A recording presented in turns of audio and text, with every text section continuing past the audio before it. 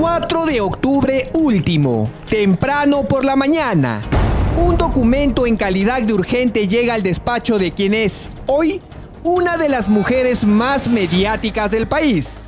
Tengo el honor de dirigirme a usted en el ejercicio de mi cargo como titular del primer despacho del equipo especial de fiscales que se abocan a dedicación exclusiva al conocimiento de las investigaciones vinculadas con delitos de corrupción de funcionarios.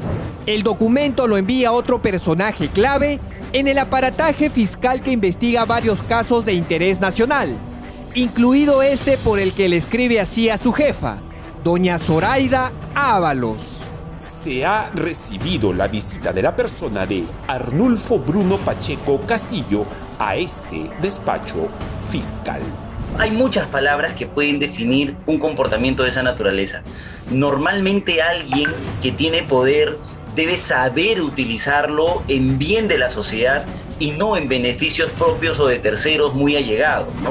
José Domingo Pérez le informa a doña Zoraida que Bruno Pacheco, sí, el mismísimo Arnulfo Bruno Pacheco Castillo, el hoy investigado por tráfico de influencias tras el escándalo de los 20 mil dólares y los chats al jefe de la SUNAT, habría visitado tres días antes al fiscal del caso Lavajato, José Domingo Pérez, por una razón tan llamativa como irregular. Pongo de su conocimiento este impasse sucedido a fin de que como representante del Ministerio Público considere las medidas necesarias. Y en fresco, Pacheco habría visitado la sede de la Fiscalía de la Nación en su calidad de secretario general del despacho presidencial, con la intención de solicitar la carpeta fiscal de la señora Susana Villarán de la Puente y otros.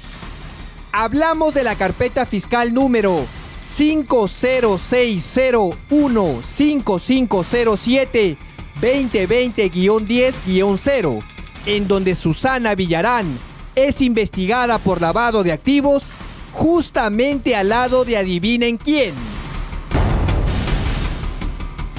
Sí, el caso en donde también Paola Ugaz Cruz es acusada de lavado de activos.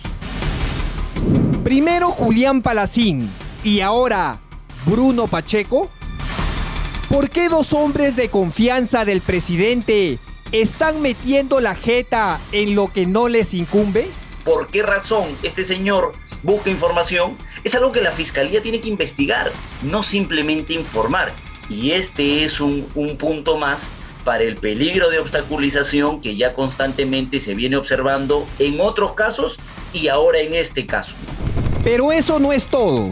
Esta historia tiene un clímax aún más indignante, porque la reacción de la inefable Zoraida Ábalos es aún más preocupante. Tenemos un punto en la agenda del mismo a fin de hacerle de su conocimiento el oficio de la referencia que tuvo a bien hacernos llegar, en el que nos hace de conocimiento la llamada del entonces secretario general del despacho presidencial, señor Arnulfo Bruno Pacheco Castillo, a su despacho preguntando por el expediente que involucra a la señora Susana Villarán de la Puente y otros. Un mes después, Zoraida Ábalos le contesta el documento a José Domingo Pérez en el que le pide que tome medidas necesarias por lo ocurrido. Sin embargo, lejos de cumplir con su rol, Ábalos le contesta diciendo que hablará con el presidente sobre este asunto. Es decir, que ella no tomará decisión alguna, sino que será el propio Castillo quien deberá decidir sobre su despacho. Tengo el agrado de dirigirme a usted para saludarlo y hacerle de su conocimiento que las diligencias programadas con el señor presidente de la República, señor Pedro Castillo Terrones, el día 14 de diciembre del 2021, haremos un punto en la agenda del mismo a fin de hacerle de su conocimiento el oficio de la referencia que tuvo a bien hacernos llegar. Sin embargo, esa reunión nunca existió. Recién antes de ayer, martes, Pedro Castillo le volvió a pedir a Zoraida Ábalos que reprogramara su cita del 29 de diciembre. ¿Doña Zoraida le habrá mencionado este espinoso detalle? El de un Bruno Pacheco acudiendo a la fiscalía a presionar sobre un famoso caso de corrupción caviar? Mientras se tomaban esta amistosa foto, la fiscal de la Nación le habrá pedido explicaciones a su presidente sobre lo que Bruno Pacheco fue a pedir, usando su título de secretario de la presidencia de la República. Pero, ¿qué tipo de delito se configura aquí? Y la fiscal de la Nación tiene la potestad de investigar al presidente de la República, pero además tiene la obligación de derivar ese hecho a una fiscalía competente para que aperturen una nueva investigación al señor Pacheco.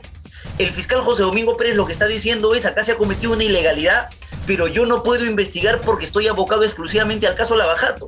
Deriven a una fiscalía competente y la fiscal de la Nación lo que hace es responderle y decirle, ya le voy a avisar, no te preocupes.